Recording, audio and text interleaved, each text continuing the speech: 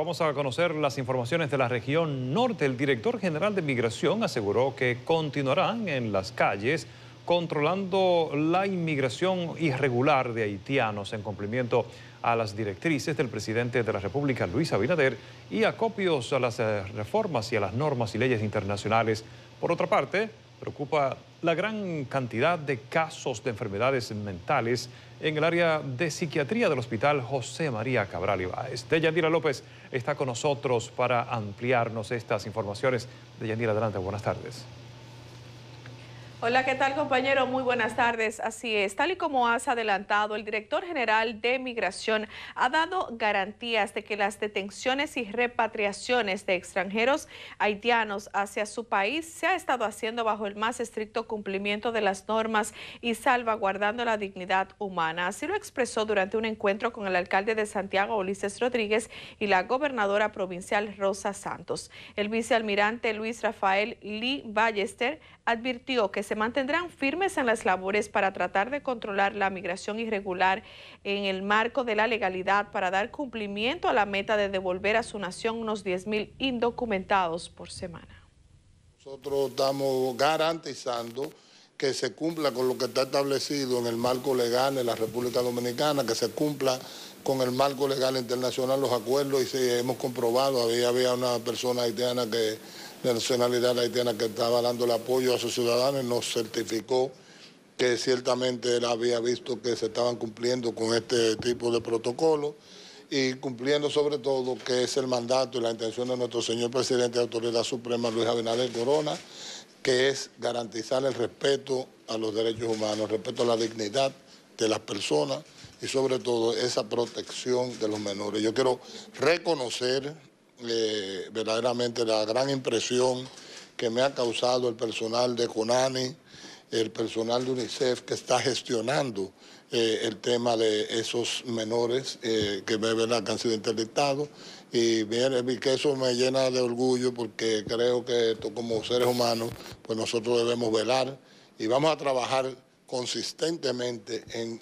el presidente de la República ha estado muy interesado él sabe la importancia que tiene eh, de que se haga una buena coordinación de las diferentes instituciones públicas estatales, eh, centralizadas, descentralizadas, todas, para que las cosas funcionen bien.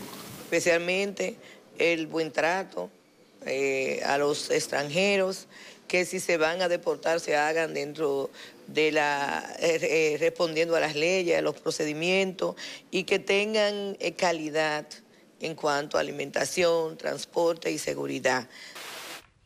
El funcionario dijo además que estarán presentando las estadísticas de la cantidad de repatriados de manera semanal o quincenal para que la población conozca de la labor que realizan, al tiempo que se refirió a la posibilidad de la instalación de oficinas de la Dirección General de Migración en cada provincia.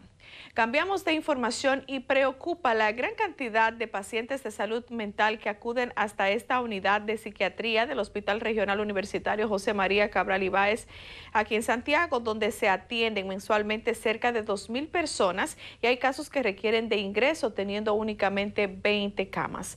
Estas declaraciones fueron ofrecidas por la doctora Hilda Valdés, jefa del Departamento de Salud Mental del Hospital y presidenta regional norte de psiquiatría, en el marco de la conferencia Humanización en Salud Mental, organizada por el Servicio Regional de Salud Central 2 a propósito del Día Mundial de la Salud Mental.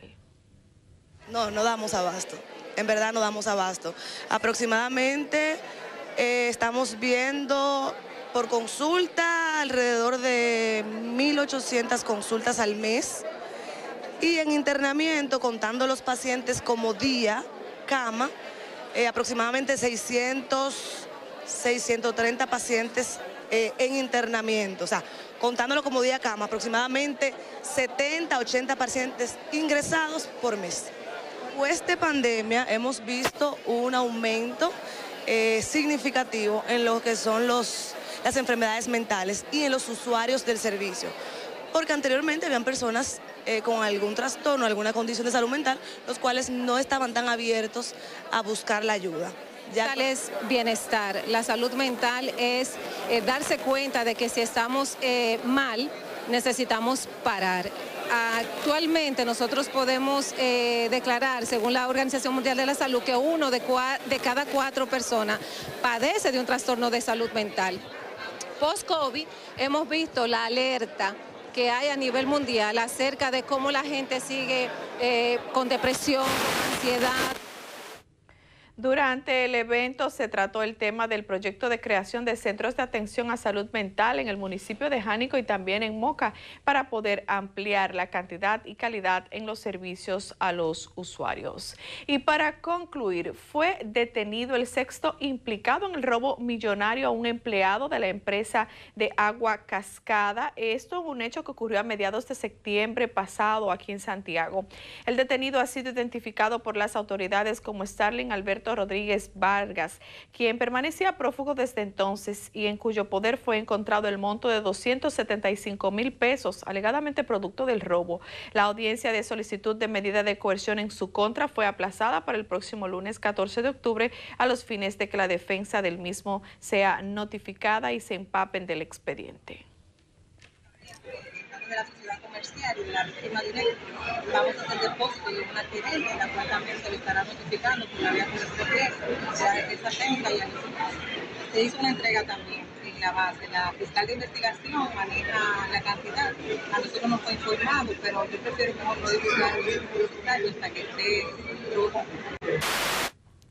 por el caso, hay otros cinco implicados quienes cumplen una medida de coerción de tres meses de prisión preventiva en diferentes centros carcelarios, entre ellos el vigilante de la entidad bancaria donde el mensajero realizaría el depósito de 2.8 millones de pesos. Y hasta aquí las informaciones. Retorno al set de noticias. Buen resto del jueves.